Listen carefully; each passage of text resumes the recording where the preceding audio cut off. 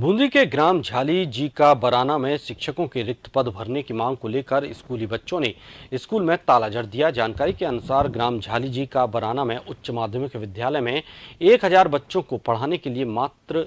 11 शिक्षकों को लगा रखा है